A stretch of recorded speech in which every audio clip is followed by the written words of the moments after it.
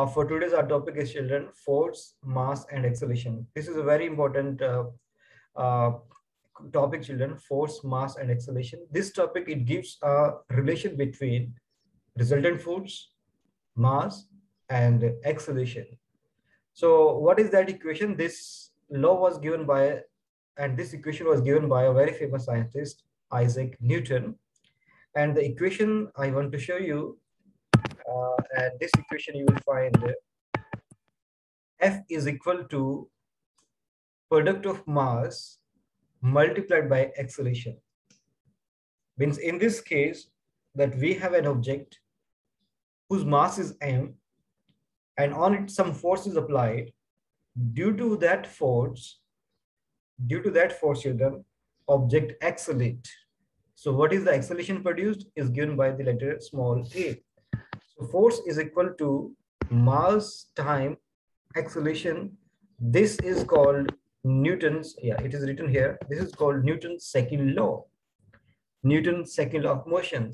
According to Newton's second law of motion, that if you apply a force on any object, it will accelerate it will accelerate. And another important thing about the Newton's second law is that from this equation, higher the mass, higher the mass of any object, higher the mass of the object,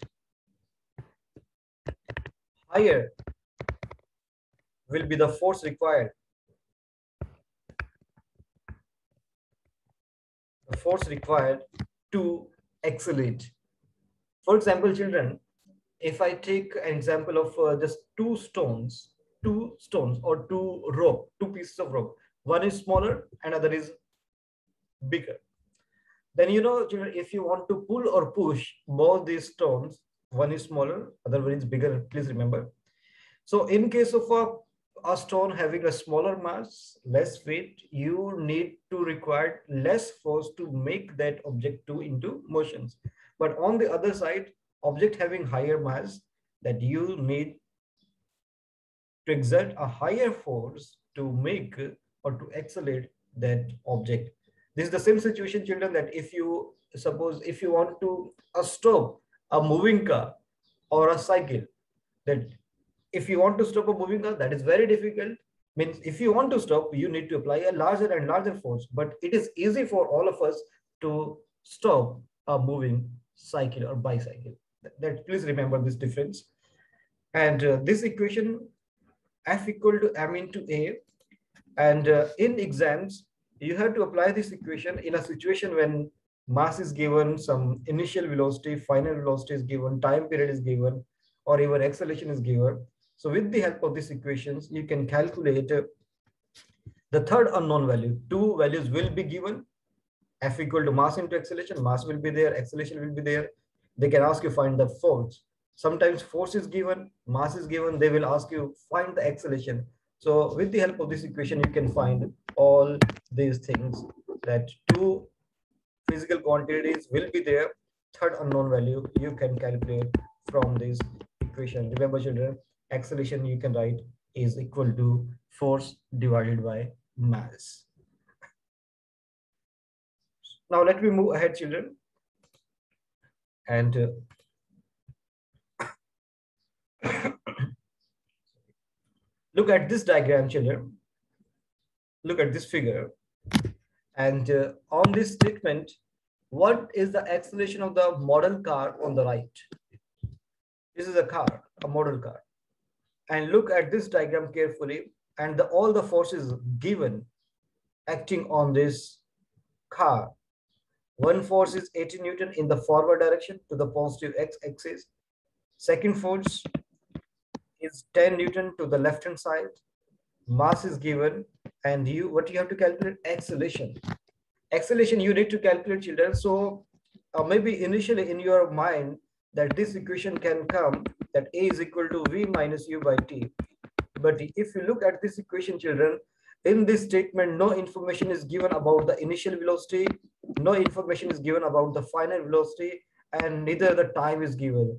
So I can't use this equation as per the requirement of this question, but from the Newton second law children, that the equation just we have Um, so F is equal to mass time acceleration. I can use this equation here. And then I need to find A that is equal to force divided by mass. Now what this force children? What this force? Forward force, backward force. Kizia, Forward. This is the, no, no, this is not the forward force. Actually, this is the resultant force. It is the resultant of the total force acting on the system. So resultant force is here. What is the resultant force, children? FR equal Eight. to 18 minus 10, that is equal to 8. Eight. So this car, a model car, is accelerating to the positive direction, to the on the positive x-axis to the right hand side due to the resultant force of 8 Newton acting on this car. So you need to write 8 here divided by the mass given in the statement, which is 2. 8 divided by 2 gives you acceleration of 4 meter per second square. So this is the way to calculate acceleration whenever uh, the resultant forces are acting on any object. Uh, okay, Katen, you may go, please. Now, no, no, next. acceleration is always on in ms square. Yeah, in meter per second square. That is the unit for measuring acceleration, meter per second square or meter s minus 2. Now look at the question number two, children. I want to discuss this one also. And uh, what is the resultant force on the car below? Look at this image, children. Yeah, resultant force 1500 minus 500 Newton. You have to write, you have to write children in exam, uh, not the direct answer, but you have to show you're working 1500 minus 500. That will give you answer 1000 Newton. So 1000 Newton is the resultant force which is acting in the direction of higher force. So this car will move in the direction of positive x-axis to the right hand side or in the direction of a higher force that is of 1500 Newton. So in, in any way you can write your answer, but children remember you had to specify the direction. Now the second part, what is the car acceleration? Again, children, you have to apply the same equation. A is equal to force divided by mass. Force, again, children, remember, this is the resultant force. It's not about 1500, it's not about 500, but it's the resultant force, and which is we already calculated in part A. 1000 divided by mass, 800 kilogram is there, children. Remember, if you find this mass is in gram, you need to convert into kilogram. It, if this is in, in any other unit, you need to convert it into SI system. So 1, 0, 2, 0, cancel out 10 by 8, 4, uh, 2 5s are 10, 2 4s are 5 by 4. That gives you result 1.25. Again, the unit is children ms minus 2 is the acceleration of this car. In the third part, children, if the total force, friction force rises to 1500 Newton, what happened to the car? They're saying if somehow that the car is moving and uh, friction force, that the opposite force start increasing in such a way that this backward force becomes equal to the forward force, then what happens with the motion of the car? Yes, please. Will it be stationary? Yeah.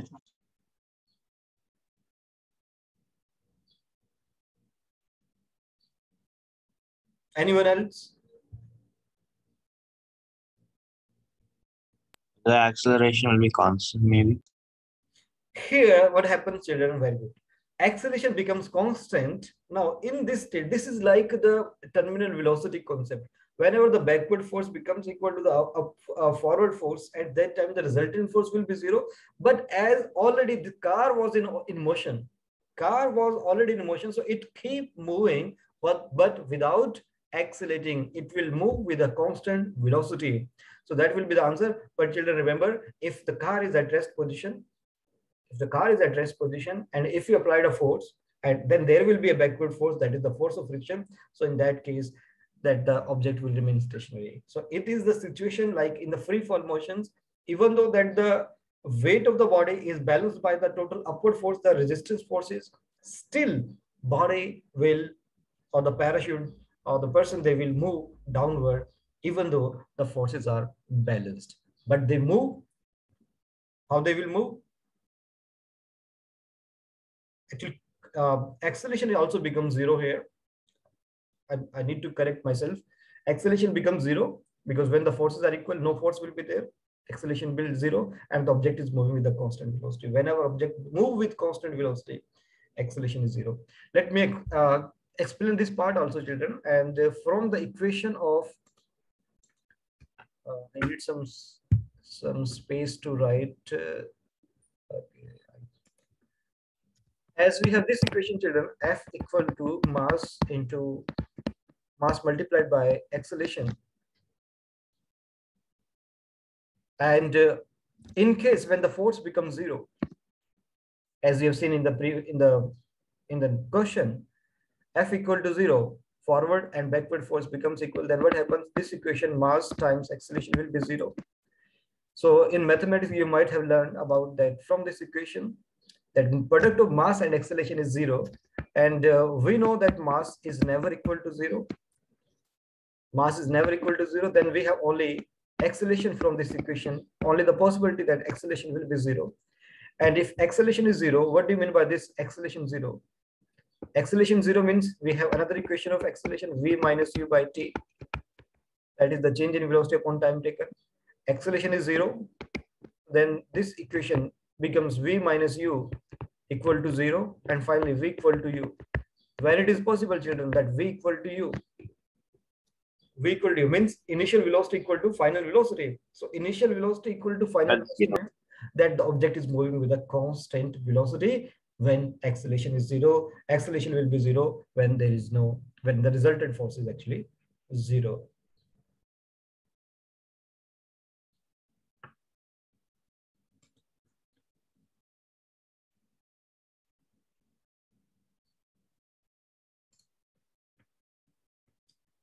Now let's move to the friction topic, children.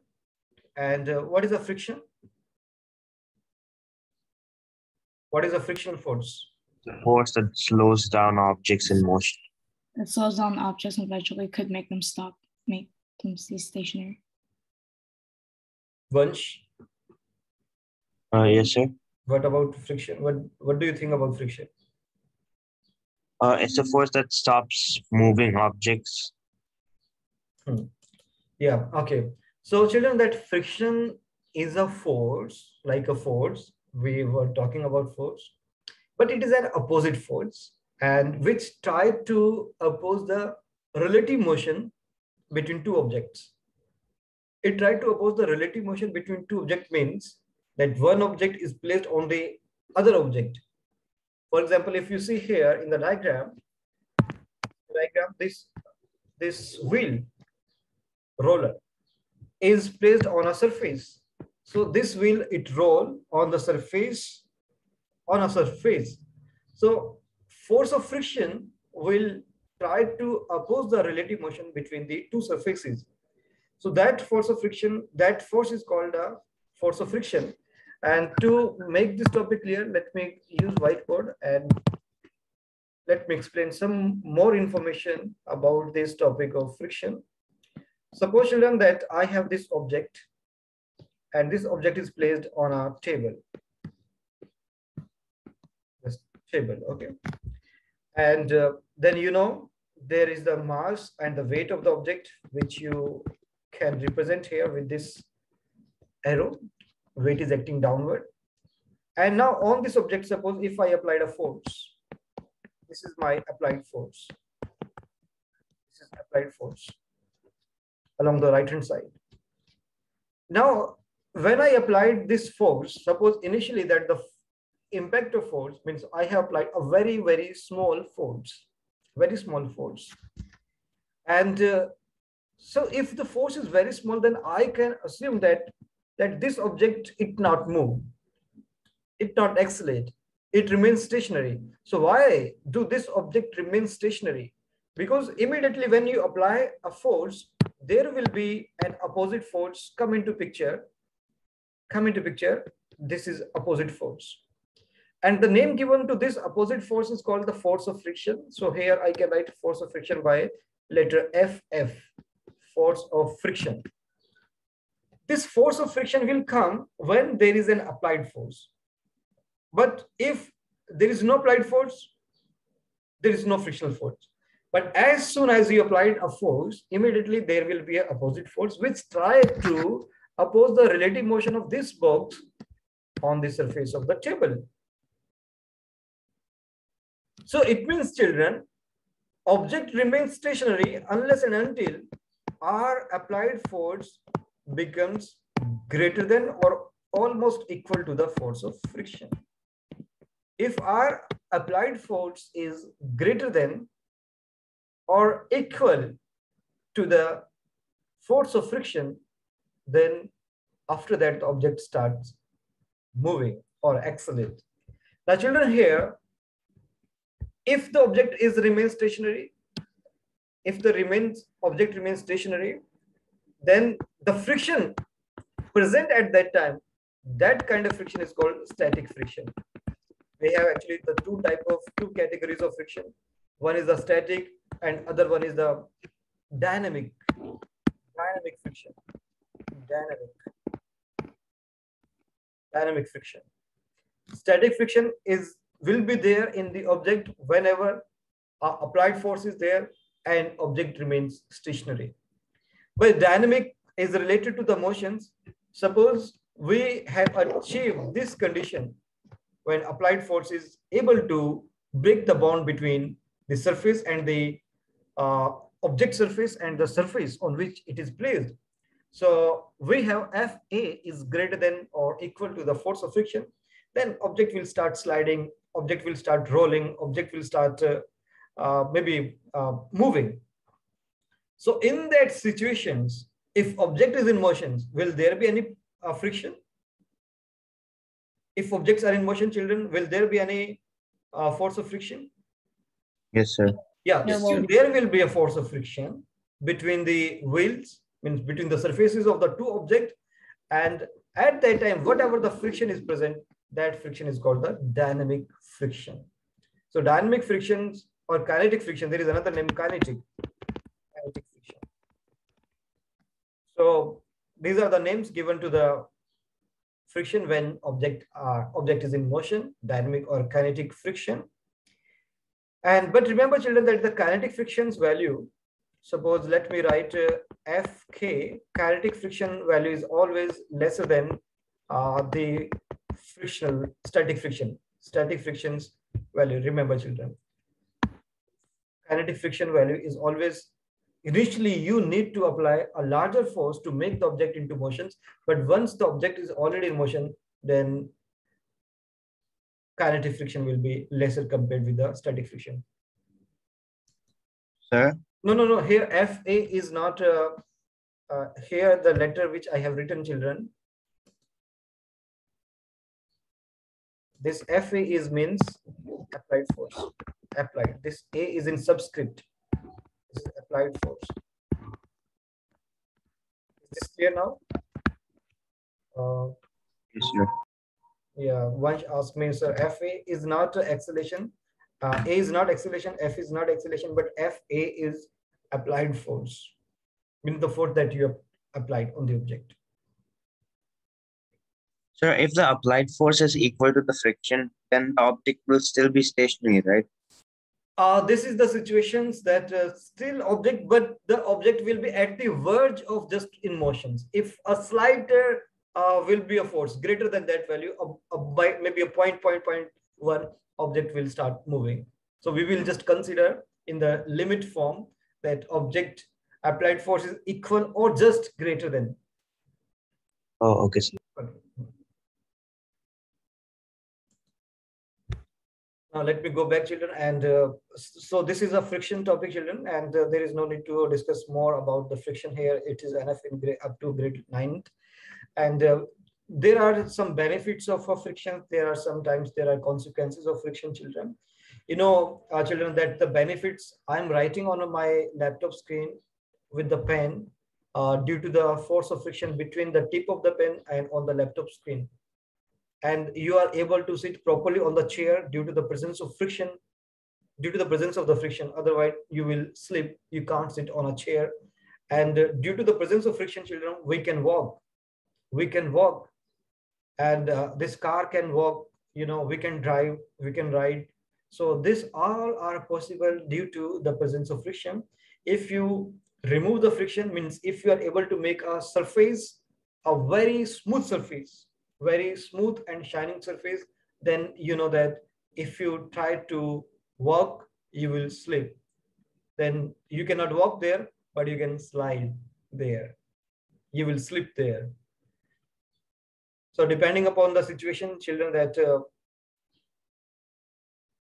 during skates you know wheels rollers and uh, they will make a lesser friction will be there when we use a, a roller or wheels instead of a, a flat surface. So these are the things, children, that you need to explore by yourself. That uh, sometimes friction is beneficial for us and sometimes it is not good for us. So for example, in machinery, in machineries, in industries, we need to regularly have to put oil, grease, and paint to avoid wear and tear in machines. If wear and tear will be there, then you know that the loss will take place. A machine will get heated and that the efficiency of the machines will reduce. To avoid these things, we need to put oil and greasing to avoid uh, friction, force of frictions there. So in machines and industries, we have to remove frictions. But when we are talk about ourselves, uh, we can walk easily due to the presence of friction. I want to move to the next topic, children. And the next topic is force, weight, and gravity. I'm just uh, not explaining all these things in detail, children. These are the smaller topics. And we are also, you know, uh, shortage of time that your exams are coming and we need to complete uh, this chapter. Next topic, force, weight, and gravity. Already we have discussed the force, children. We have discussed the weight in the first chapter, that weight is a force.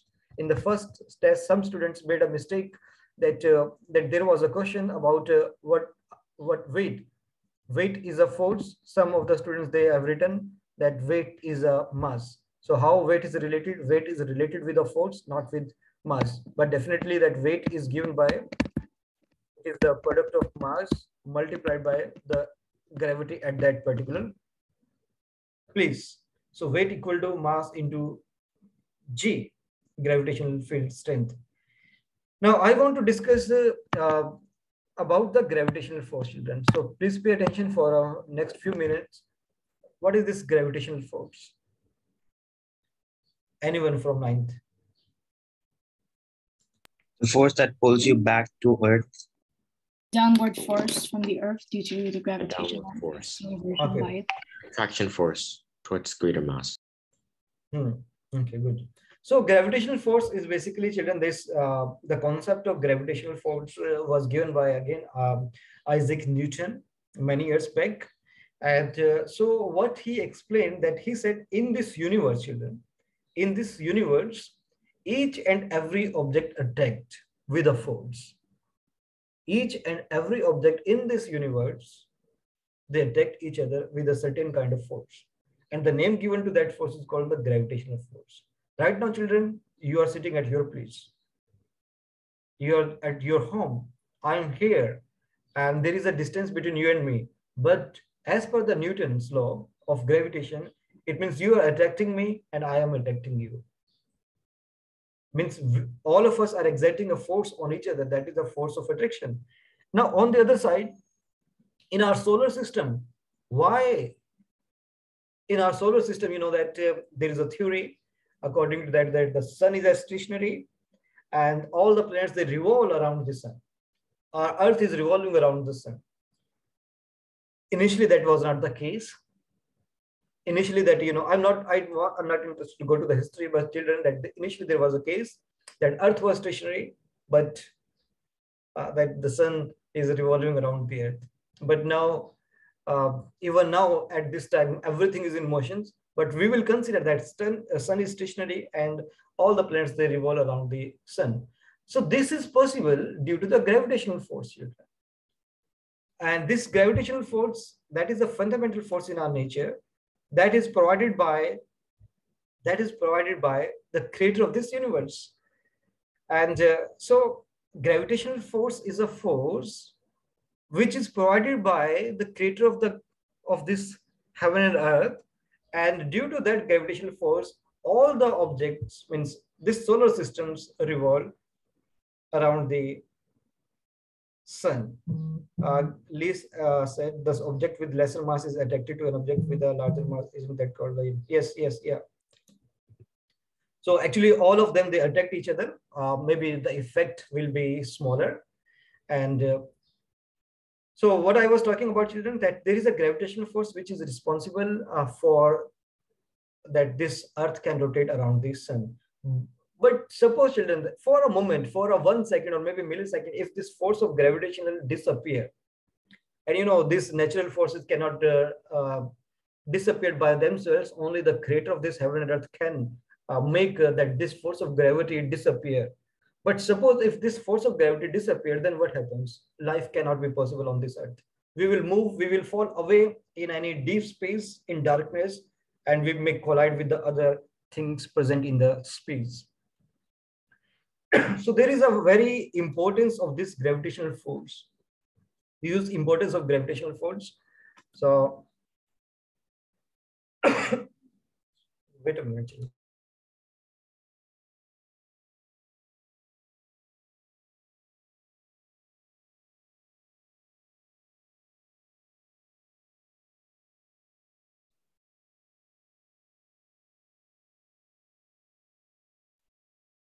Yes, once um, it may possible. It may possible. Oh, okay, sir. yeah So now here, children, um, now we have an equation. Even though here in gra grade nine, this equation is not required, and they have not mentioned uh, the writer of this book has not mentioned the equation. But I want to tell you that there is an equation uh, that was given by Isaac Newton for uh, that what about the Newton's law of gravitation? And this equation is F equal to, and is not working. F is equal to, or let me write, F is proportional to mass of one object, mass of second object, and inversely proportional to the square of the distance between them. According to the Newton's law of gravitation, that this force of attraction is directly proportional to the product product of the two masses. Product of the two masses m1 and m2 means that the two objects masses of the two objects. And what is r here? R is the distance between the two objects. For example in case of sun and earth in case of sun and earth so you can write mass of sun multiplied by mass of earth divided by whatever the distance between sun and earth. All these things children you can find out on internet. What is the mass of sun? What is the mass of earth and what is the distance between them. So you can find out the value of gravitational force acting between sun and earth. Uh, it's not about sun and earth, children. If you are able to find the distance between two any uh, planets, so you can find the force that how with that force how you will how much force is acting there. He also explained, yes, please. Uh, sir, if we have to find the gravitational force of one object, we have to remove the other from the equation, right? No, no, no. That both both objects should be there. Both objects should be there. Otherwise, uh, you can't measure. You know, one object is pulling the other object. In, in case of gravity, in case of gravity, you know, as per the law of gravitations, that uh, we are able to pull Earth, and Earth is pulling they're the falling objects. So that's the case. This is the in pair. This force come into pair. Both objects are able to uh, experience force. Oh, okay, sir. Weight, children, that I told you we have already discussed. Weight uh, depends on gravity, so that weight can be zero depending upon the value of gravity.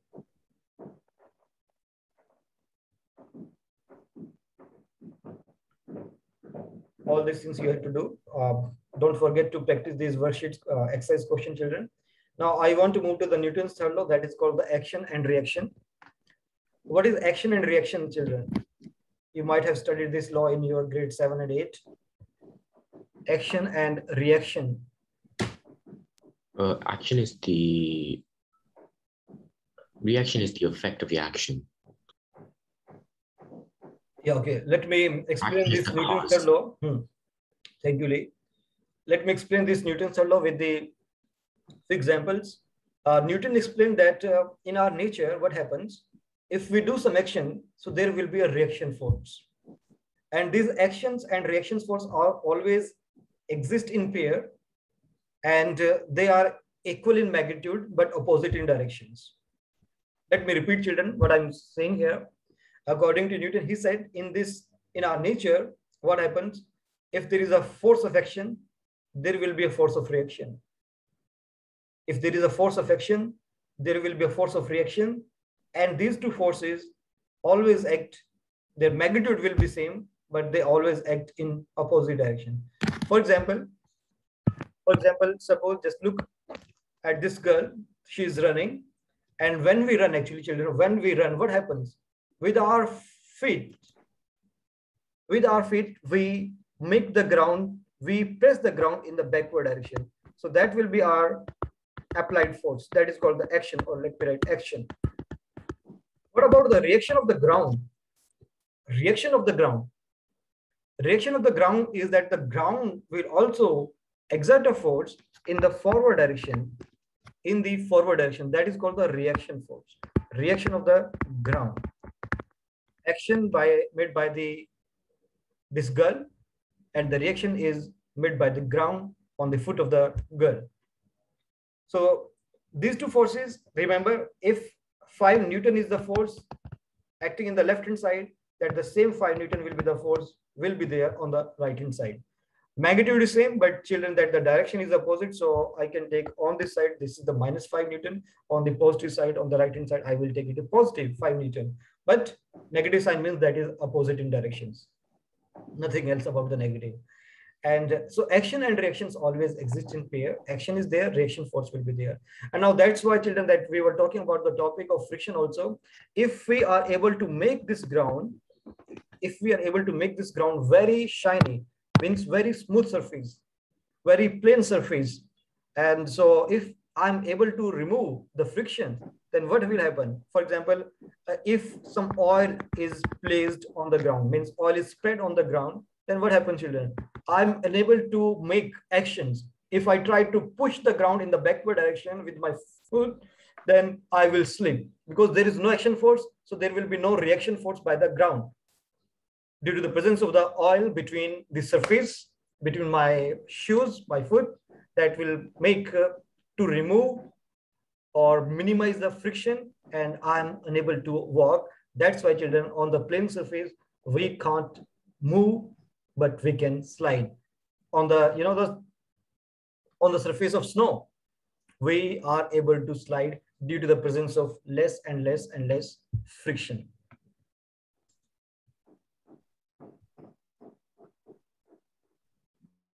Yes the magnitude of the force is always same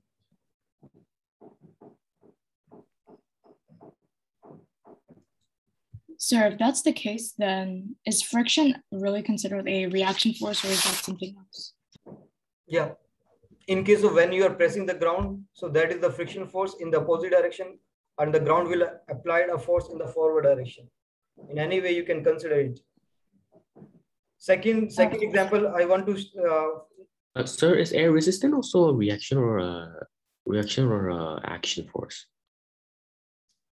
Air resistance, you know, in free fall motion, if we consider that is the air resistance, that is again a free friction force. But in terms of air, it will exert in the opposite directions. But you know that the man is moving downward, person is moving downward. That is the downward force, and and uh, the reaction force will be that the particles exert a force on the body of the uh, person or the object which is falling downward. Now, in case of a gun, please look at this gun, children. And when we fire, you know, when we fire, what happens? Uh, when we press this trigger, then you know the bullet is released and the bullet is moving in the forward direction. So that is the action. Bullet is moving in the forward direction. But the reaction of the bullet on the gun, on the gun that the this gun, the overall this gun, it recoil. Recoil. Recoil means that it will, uh, now suppose just look at me children. If I press a trigger, the bullet will move in the forward direction and look at my hand now, it will just move like this. A small jerk in the backward directions. So that is the reaction force of the bullet on the gun. So you also uh, try to remember this example. There are many examples, but but uh, one more example, children. Uh, as per the nature that we have Newton's third law, action and reaction. But what about the Bible? In Bible, it is written, if someone slap you on the left cheek, turn your right. According to the Bible teaching, and the Gandhi quoted from the Bible, if someone hit you, slap you, turn your right hand, uh, means right, right cheek. So avoid to fight, love your enemies. That the message of Bible children. So I want to say children, sometimes uh, Bible and the Holy Scriptures and the other uh, religion scripture is opposite to the science. Science says something different. Newton said, if someone hit you, you do reaction. If someone hit you once, you slap him hard twice. Uh, but Bible says, don't revenge. Revenges are mine. Revenges are mine. Okay, children, let me end.